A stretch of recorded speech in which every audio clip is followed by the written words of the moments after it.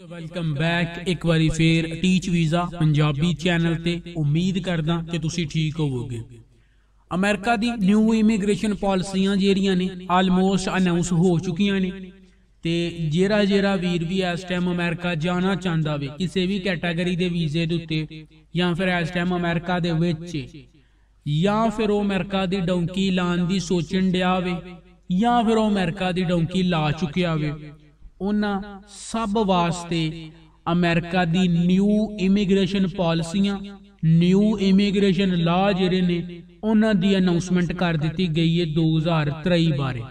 ਤੇ ਜਿਹੜਾ ਜਿਹੜਾ ਵੀਰ ਵੀ ਅਮਰੀਕਾ ਕਿਸੇ ਵੀ ਕੈਟਾਗਰੀ ਤੇ ਜਾਣਾ ਚਾਹੁੰਦਾ ਵੇ ਜਾਂ ਇਸ ਟਾਈਮ ਕਿਸੇ ਵੀ ਸਟੇਟਸ ਦੇ ਉੱਤੇ ਅਮਰੀਕਾ ਦੇ ਵਿੱਚ ਉਹਨਾਂ ਵਾਸਤੇ ਵੀਡੀਓ ਕਾਫੀ ਜ਼ਿਆਦਾ ਇੰਪੋਰਟੈਂਟ ਹੈ। ਵੀਡੀਓ ਨੂੰ ਐਂਡ ਤੱਕ ਤੱਕੋ।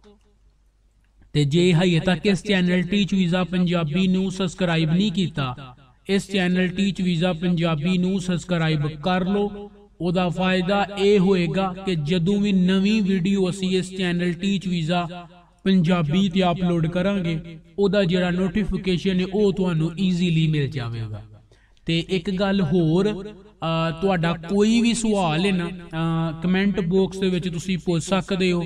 ਉਹਦਾ ਰੀਜ਼ਨ ਇਹ ਵੀ ਕਿ ਲਾਸਟ 2 ਵੀਕ ਤੋਂ ਮੈਂ ਕਾਫੀ ਜ਼ਿਆਦਾ ਜਿੰਨੇ ਵੀ ਤੁਹਾਡੇ ਕਮੈਂਟਸ ਨੇ, ਉਹ ਪੜ ਰਿਹਾ। ਪਹਿਲਾਂ ਇੰਨਾ ਜ਼ਿਆਦਾ ਟਾਈਮ ਨਹੀਂ ਸੀ ਹੈ ਬਟ ਹੁਣ ਕਾਫੀ ਜ਼ਿਆਦਾ ਟਾਈਮ ਮੈਨੇਜ ਕਰਕੇ ਤੇ ਤੁਹਾਡੇ ਜਿਹੜੇ ਕਮੈਂਟਸ ਨੇ, ਉਹ ਕੋਸ਼ਿਸ਼ ਕਰੀਦੇ ਨੇ ਕਿ ਬਹੁਤੇ ਤੋਂ ਬਹੁਤੇ ਰਿਪਲਾਈ ਦਿੱਤੇ ਜਾਣ। ਤੇ ਇਸ ਲਈ ਤੁਸੀਂ ਆਪਣਾ ਕਮੈਂਟ ਕਰਕੇ ਵੀ ਤੁਹਾਡਾ ਜਿਹੜਾ ਸਵਾਲ ਹੈ, ਉਹ ਵੀ ਪੁੱਛ ਸਕਦੇ ਹੋ।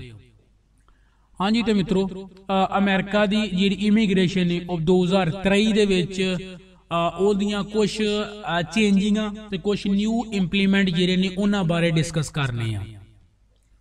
ਪਹਿਲੇ ਨੰਬਰ ਤੇ ਤੇ ਸਟੂਡੈਂਟ ਇਮੀਗ੍ਰੇਸ਼ਨ ਜਿਹੜੀ ਹੈ ਸਟੂਡੈਂਟ ਵੀਜ਼ਾ ਵਿਦ ਇਮੀਗ੍ਰੇਸ਼ਨ ਜਿੰਨੇ ਵੀ ਯੂਰਪ ਦੇ ਸਿਟੀਜ਼ਨ ਹਨ ਜਾਂ ਜਿੰਨੇ ਵੀ ਯੂਕੇ ਦੇ ਸਿਟੀਜ਼ਨਸ ਹਨ ਉਹ ਅਗਰ ਅਮਰੀਕਾ ਦੇ ਵਿੱਚ ਪੜ੍ਹਾਈ ਕਰਨ ਆਉਂਦੇ ਸਨ ਤੇ ਪੜ੍ਹਾਈ ਕਰਨ ਤੋਂ ਬਾਅਦ ਉਹ ਅਮਰੀਕਾ ਦਾ ਪਾਸਪੋਰਟ ਜਾਂ ਅਮਰੀਕਨ ਸਿਟੀਜ਼ਨਸ਼ਿਪ ਲੈਣਾ ਚਾਹੁੰਦੇ ਸਨ ਤੇ ਉਹਨਾਂ ਨੂੰ ਪਹਿਲਾਂ ਆਪਣੀ ਜਿੰਨੀ ਵੀ ਸਟੱਡੀ ਉਹ ਕੰਪਲੀਟ ਕਰਨੀ ਪੈਂਦੀ ਸੀ, ਉਸ ਤੋਂ ਬਾਅਦ ਉਹਨਾਂ ਨੂੰ ਤੁਸੀਂ ਕਹਿ ਸਕਦੇ ਹੋ ਕਿ ਚੈੱਕ ਕਰਨ ਵਾਸਤੇ 2 ਸਾਲ ਐਕਸਟਰਾ ਵੀ ਲੱਗਦੇ ਹਨ ਤੇ ਆਲਮੋਸਟ 8 ਤੋਂ 9 ਸਾਲ ਲੱਗਦੇ ਹਨ ਉਹਨਾਂ ਨੂੰ ਜੇ ਉਹਨਾਂ ਐਜ਼ ਅ ਸਟੂਡੈਂਟ ਆ ਕੇ ਅਮਰੀਕਾ ਦੇ ਵਿੱਚ ਕਿਸੇ ਵੀ ਯੂਰਪੀਅਨ ਸਿਟੀਜ਼ਨ ਨੇ ਅਮਰੀਕਾ ਦਾ ਪਾਸਪੋਰਟ ਲੈਣਾ ਹੋਵੇ। ਤੇ ਉਹਨਾਂ ਨੂੰ ਤਕਰੀਬਨ 8 ਤੋਂ 10 ਸਾਲ ਲੱਗਦੇ ਸਨ।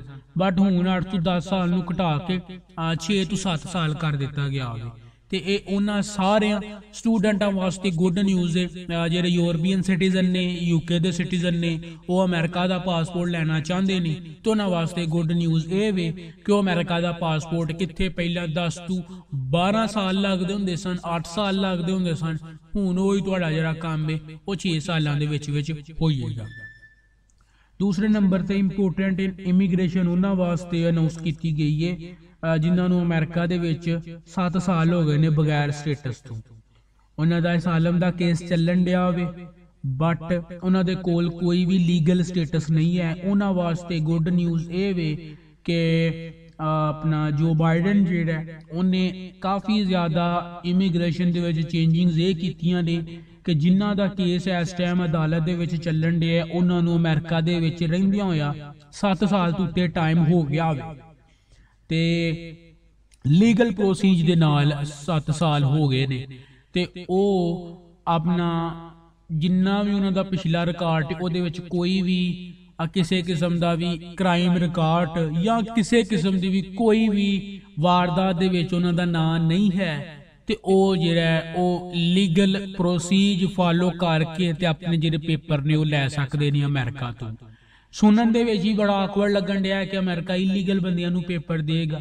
ਬਟ ਇਹ ਗੱਲ ਬਿਲਕੁਲ ਸਹੀ ਹੈ, ਉਹਨਾਂ ਨੇ ਆਪਣੇ ਆਫੀਸ਼ੀਅਲ ਪੇਜ ਦੇ ਉੱਤੇ ਵੀ ਇਹ ਨਿਊਜ਼ ਕੀਤੀ ਹੈ।